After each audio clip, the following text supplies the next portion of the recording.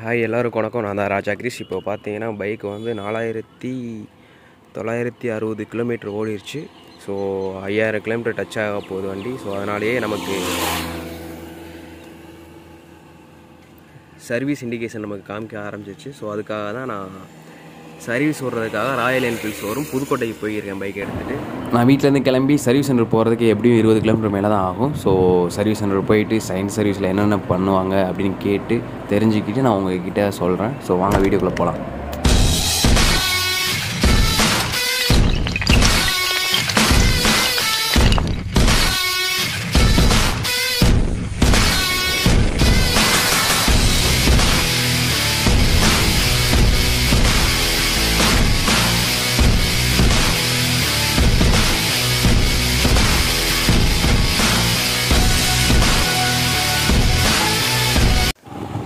பைக்கை இப்போ வீட்டிலேருந்து எடுத்து போய்க்கிருக்கேன் நான் ஸ்ட்ரைட்டாக புதுக்கோட்டை போய்க்கிருக்கேன் போகிறதுக்கு முன்னாடி நான் சர்வீஸ் சென்டர்லாம் கால் பண்ணி கன்ஃபார்ம் பண்ணிட்டு தான் நான் பைக் எடுத்துகிட்டு போகிறேன் நான் ஹிமாலயன் பைக் எடுத்துகிட்டு வரேன். சயின்ஸ் சர்வீஸ் நான் விடணும் ஸோ எனக்கு பைக் எப்போ கிடைக்கும் அப்படி நான் கன்ஃபார்ம் பண்ணினதுக்கப்புறம் தான் நான் பைக்கை எடுத்துகிட்டு போய்க்கிருக்கேன் இப்போ டைமிங் பார்த்தீங்கன்னா கரெக்டாக பத்து முப்பது ஆயிடுச்சு. நான் சர்வீஸ் சென்டர் போகிறதுக்கு எப்படியும் ஒரு ஆஃப் அன் ஹவர் ஆயிரும். ஸோ ஆஃப் அன் ஹவர் ஆகினதுக்கும் கரெக்டாக பதினொரு மணி ஆயிரும். நான் பதினொரு மணிக்கு சர்வீஸ் சென்டரில் விட்டால் எப்படியும் ஒரு ஈவினிங் ஒரு ஆறு மணி ஆயிரும் நினைக்கிறேன் பைக்கை எடுத்துகிட்டு வர்றதுக்கு. ஸோ அங்கே போயிட்டு பைக்கில் பெரிய கம்ப்ளைண்ட் அப்படி எதுவும் இல்லை. இருந்தாலும் சின்ன சின்ன போல்டு அந்த மாதிரி கல் விழுந்துருச்சு. நிறையா ரைட் போனதுனால. பேக் டிஸ்பேக் போன மாதிரி எனக்கு ஃபீல் ஆகுது. அங்கே சர்வீஸ் சென்டர் போயிட்டு செக் பண்ணதுக்கப்புறம் சேஞ்ச் பண்ணுற மாதிரி இருந்தால் சேஞ்ச் பண்ணிடலாம் டிஸ்பேடை அதுக்கப்புறம் பெருசாக கம்ப்ளைண்ட் எனக்கு தெரிஞ்ச எதுவும் இல்லை. இருந்தாலும் நம்ம ஃபஸ்ட் சர்வீஸ் ஐநூறு கிலோமீட்டர் தான் ஆகட்டும் இப்போ செகண்ட் சர்வீஸ் ஐயாயிரம் கிலோமீட்டர்னால ஸோ அந்த கேப்பே எனக்கு ரொம்ப ஒரு மாதிரி வண்டி சவுண்டே கொஞ்சம் டிஃப்ரெண்ட்டாக ஆயிடுச்சு. கொஞ்சம் சலசலன்னு ஆன மாதிரி தான் இருக்குது ஸோ அதையும் கொஞ்சம் கம்ப்ளைண்டாக சொல்லிடலாம். அதுக்கப்புறம் பார்த்தீங்கன்னா ஜென்ரலாக அவங்க என்னென்ன பண்ணுவாங்கன்னா நார்மலாக ஃபஸ்ட் சர்வீஸில் சொன்ன மாதிரி தான். ஃபஸ்ட் சர்வீஸில் என்னென்ன பண்ணியிருக்கோம் என்னென்னு போயிட்டு கீழே டிஸ்கிரிப்ஷனில் நம்ம ஃபஸ்ட் சர்வீஸ் பண்ண வீடியோ போட்டிருக்கேன். அந்த லிங்க் இருக்கும். ஸோ மறக்காமல் கண்டிப்பாக அதை போய் பாருங்கள் அப்போ தான் ஃபஸ்ட் சர்வீஸில் என்னென்ன பண்ணோம் அப்படின்னு உங்களுக்கு தெரியும். ஓகே நான் இப்போது சர்வீஸ் சென்டர் கிட்ட கிட்ட வந்துட்டேன். கிட்ட வந்துட்டதுக்கப்புறம் இப்போது சர்வீஸ் சென்டர் வந்துட்டேன். அப்படியே ஹிமாலயன் பைக் ரொம்ப அழுக்காகவே இருக்குது நிறையா ட்ரிப்லாம் போயிட்டு வந்து.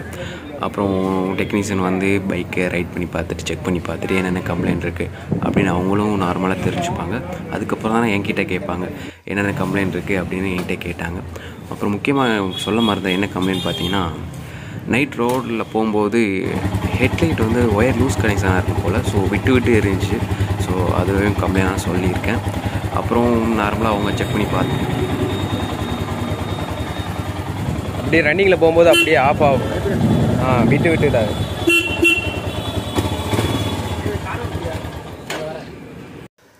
நெக்ஸ்ட்டு பார்த்தீங்கன்னா பைக் சூப்பர்வைசர் என்கிட்ட என்னென்ன கம்ப்ளைண்ட் இருக்குன்னு கேட்டு தெரிஞ்சு அதுக்கப்புறம் அவரும் நார்மலாக என்னென்ன கம்ப்ளைண்ட் இருக்குன்னு செக் பண்ணதுக்கப்புறம் ஒரு நார்மலாக எஸ்டிமேஷன் போட்டாங்க. எஸ்டிமேஷன் போட்டதுக்கப்புறம் பைக் நிறையா இருந்தால் கொஞ்சம் லேட் ஆகும். அப்படிலாம் சீக்கிரமே உங்களுக்கு சர்வீஸ் பண்ணி தந்துடுறேன் அப்படின்னு சொல்லி என்கிட்ட சை சிக்னேச்சர் வாங்கிட்டு டோக்கன் போட்டார். அதுக்கப்புறம் பார்த்தீங்கன்னா முக்கியமாக என்னென்னு சொன்னார்னா ச ஆயில் வந்து டாப் அப் பண்ணுறேன்னு என்கிட்ட கேட்டாங்க. டாப் அப் பண்ணால் எப்படின்னா இருக்கிற ஆயிலோட கொஞ்சம் குறைஞ்சிருந்தால் எக்ஸ்ட்ரா ஆயில் ஊற்றுறதுக்கு தான் டாப் அப் பண்ணுறது கேட்டாங்க என்கிட்ட. ஸோ டாப் அப் பண்ணுறதுல எனக்கு இன்ட்ரெஸ்ட் இல்லை. ஏன்னா நான் லாங் ட்ரிப் போக இப்போது நெக்ஸ்ட் ஒரு பிளான் போட்டிருக்கேன். ஸோ லாங் ட்ரிப்னால் போகிறதுக்கு டாப் அப் சரியாக வராது. நீங்கள் ஆயிலே நியூவாக புது ஆயிலாக சேஞ்ச் பண்ணிடுங்க அப்படின்னு நான் சொல்லிட்டேன். அப்புறம் ஓகேன்னு ஆயிலுக்கு எவ்வளோ ரேட் ஆகுமோ ஒரு நார்மலாக எஸ்டிமேஷன் போட்டாங்க. அதுக்கப்புறம் நான் வீட்டுக்கு போயிட்டு ஈவினிங் தான் வந்தேன். ஈவினிங் வந்து பார்க்கும்போது டிஸ்க் பேட் சேஞ்ச் பண்ணியிருந்தாங்க. அந்த பழசை எடுத்துகிட்டு புதுசாக சேஞ்ச் பண்ணாங்க. பார்த்தீங்கன்னா ரொம்ப டிஸ்க் தேஞ்சு தேஞ்சு போயிடுச்சு அப்புறம் அந்த புது டிஸ்க்கை சேஞ்ச் பண்ணாங்க. அப்புறம் ஆயில் ஆல்ரெடி மாற்றிட்டாங்க போல். நான் வந்து பார்க்கும்போது கரெக்டாக ஒர்க்குனா முடிஞ்சிட்டு வாட்டர் சர்வீஸ் பண்ணுறதுக்காக பைக் வெயிட் பண்ணி இருந்துச்சு. ஸோ நான் வந்ததுக்கப்புறம் வாட்டர் சர்வீஸ் பண்ணாங்க. பண்ணிவிட்டு ஆயில்லாம் பக்கம் அடித்ததுக்கப்புறம் நார்மலாக இந்த க்ரீஸு ஜெயின் லூஃப் அதெல்லாம் பண்ணாங்க.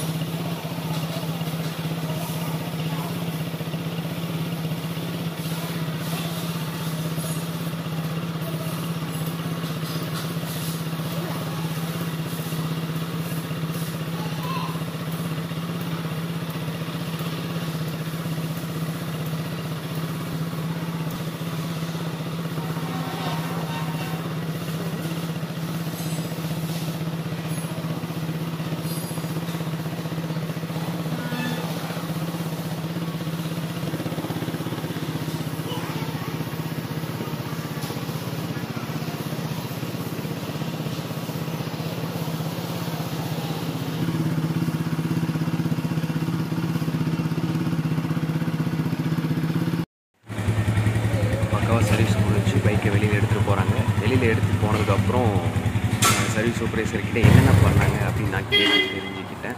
என்ன பண்ணான்னு பார்த்தீங்கன்னா கரெக்ட் ஃபஸ்ட்டு ஆயில் சேஞ்ச் பண்ணியிருக்காங்க அப்புறம் ஏர் ஃபில்டர் சேஞ்ச் பண்ணியிருக்காங்க அப்புறம் நான் டிஸ்க் பேக் போச்சுன்னு சொன்னல ஸோ அதையும் சேஞ்ச் பண்ணியிருக்காங்க. அப்புறம் அதுக்கப்புறம் அவங்க நார்மலாக ஜென்ரல் சர்வீஸில் என்னென்ன பண்ணியிருக்காங்கன்னா plug chain brake accelerator cable எல்லாத்தையும் அட்ஜஸ்ட்மெண்ட் பண்ணியிருக்காங்க. அதுவும் இல்லாமல் நிறையா சின்ன சின்ன நட் நட்டுனா இருந்துச்சு. ஸோ அதனால் கொஞ்சம் டைட் பண்ணியிருக்காங்க. அதனால் ஃபுல்லாக ஜென்ரல் சர்வீஸில் வந்துடும் ஸோ நார்மலாக அவங்க ஜென்ரல் சர்வீஸ்க்கு பண்ணிட்டாங்க. ஸோ நம்ம ஜென்ரலாக சர்வீஸ் பண்ணுறதுக்கு நம்ம பே பண்ண தேவையில்லை.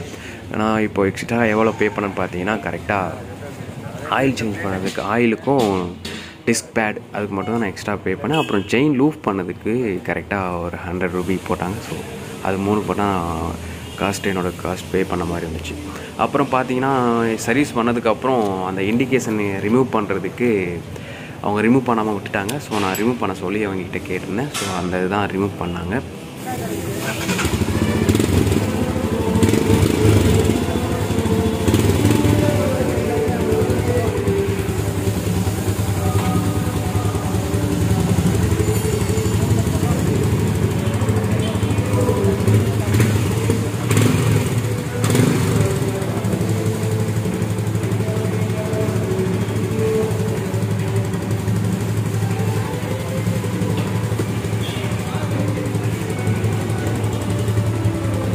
சர்வீஸ் பக்காவாக முடிஞ்சு நான் காலையில் விட்டதுக்கும் இப்போது பைக்கை பார்க்குறதுக்கும் ரொம்ப பெரிய டிஃப்ரெண்ட்டாக இருக்குது ஸோ ரொம்ப பக்காவாக நமக்கு சர்வீஸ் பண்ணி கொடுத்துட்டாங்க. நெக்ஸ்ட் அப்படியே பார்த்தீங்கன்னா பில் எடுத்துகிட்டு வந்தாங்க. பில் எவ்வளோ ஆச்சுன்னு பார்த்தா கரெக்டாக thousand one hundred and six அதாவது ஆயிரத்தி நூற்றி ஆறுரூவா எனக்கு பில்லிங் வந்துச்சு. ஸோ அதை பே பண்ணேன். எதுக்கு சார்ஜ் பண்ணியிருக்கேன் பார்த்தீங்கன்னா ஆயில் சேஞ்ச் பண்ணதுக்கு அறநூற்றி எழுபத்தி எட்டு ரூபா அப்புறம் ஆயில் ஃபில்டர் ஆயில் ஃபில்டருக்கு தொண்ணூத்தொம்பது ரூபா அப்புறம் செயின் க்ளீன் பண்ணி செயின் லூஃப் அடித்ததுக்கு தொண்ணூத்தொம்பது ரூபா அப்புறம் நம்ம மாற்ற சொன்ன பேடு பிரேக் பேட் சேஞ்ச் பண்ணுறதுக்கு ஒரு இரநூத்தி முப்பது ரூபா. ஆக மொத்தம் டோட்டலாக ஆயிரத்தி நூற்றி ஆறுரூவா எனக்கு பில்லிங் வந்து ஸோ செகண்ட் சர்வீஸ் பில்லிங்னு பார்த்தீங்கன்னா ஆயிரத்தி நூற்றி ஆறுரூவா நம்ம பக்காவாக செகண்ட் சர்வீஸ் பண்ணி முடிச்சாச்சு. நெக்ஸ்ட்டு அந்த சர்வீஸ் இண்டிகேஷன் ஆஃப் ஆயிடுச்சா அப்படின்னு செக் பண்ணி பார்க்கலாம். அதுக்கு கீ ஆன் பண்ணி பார்க்குறேன். கீ ஆன் பண்ணி பார்த்ததுக்கப்புறம் அந்த சர்வீஸ் இண்டிகேஷன் போயிடுச்சு கரெக்டாக காமிக்கல. என்ன லைட்டாக ஆ சர்வீஸ் இண்டிகேஷன் போயிடுச்சு ஸோ சயின்ஸ் சர்வீஸ் கம்ப்ளீட் ஆயிடுச்சு நெக்ஸ்ட் பார்த்தீங்கன்னா பைக் எடுத்து வீட்டுக்கு போகிறோம் அதுக்கு முன்னாடி நம்ம சேனலில் சப்ஸ்கிரைப் பண்ணாதவங்க கண்டிப்பாக சப்ஸ்கிரைப் பண்ணிடுங்க okay thank you it's me Raja Krish. Bye